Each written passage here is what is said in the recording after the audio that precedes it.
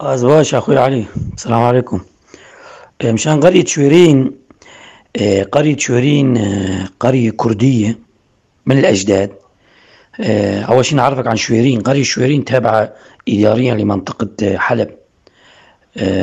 منطقة تابعة لأعزاز صوران في ريف حلب الشمالي. عشيرة كردية رشوانية.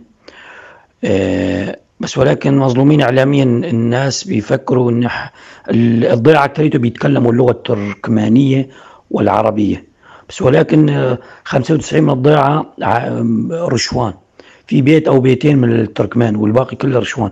ولكن بشكل عام الضيعة أكثريتهم بيحكوا تركمان وعربي.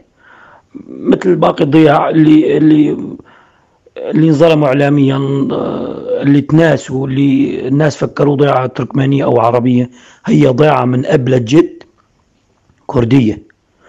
وسمي قرية شويرين باسم شويرين نسبة لعشيرة الرشوان.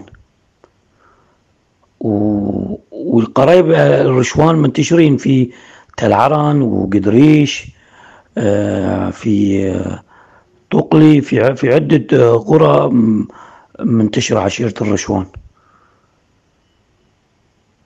أذكردم